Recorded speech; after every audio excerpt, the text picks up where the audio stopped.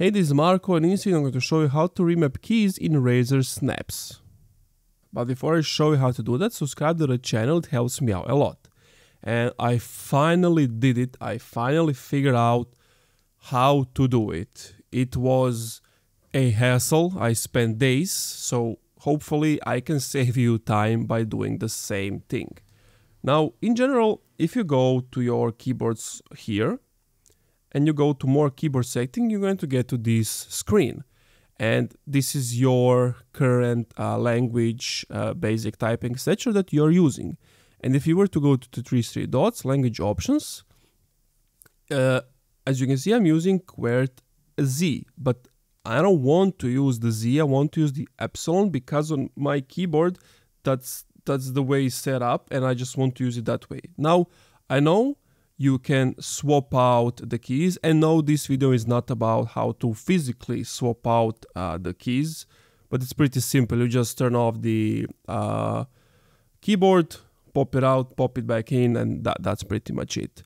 But I wanted to have it on QWERTY Z, and I wasn't able to do it. If I go to add a keyboard, sure, there are some with epsilon, like Estonian, for example, but the problem is if I were to have that, I wouldn't have like Croatian letters.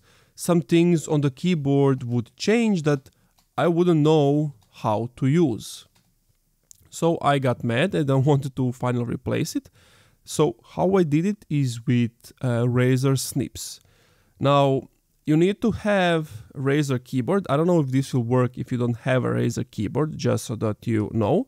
Basically, as you can see, I have it with the Z and if you go to Razer Synapse beta, these are the customized keys. So as you can see, I swapped epsilon with Z and Z with epsilon. And what you and how you can do it, of course, open it and then go just to the keyboard, click on the Z and just drag your mouse here and you will see keyboard function.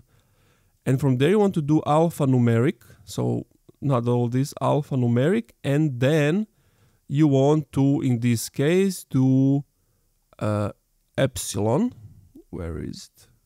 Yeah ba basically epsilon. And then you click on save and now it's swapped. And you do the same for epsilon and if you go here to the customized you will see it. So if I were to write stuff as you can see it's epsilon and it's z now if I didn't have this, if I were, if I were to type epsilon, it would be z and vice versa. And, and that's pretty much it. This didn't help me out and I didn't find like Croatian uh, QWERTY keyboard. So Razer helped me out here and I did it uh, basically this way.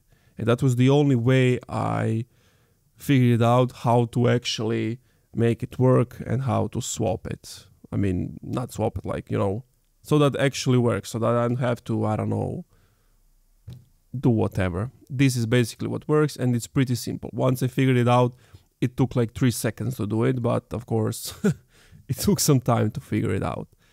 And that's basically it. Thank you for watching this video. If you enjoyed, leave a like, comment, subscribe.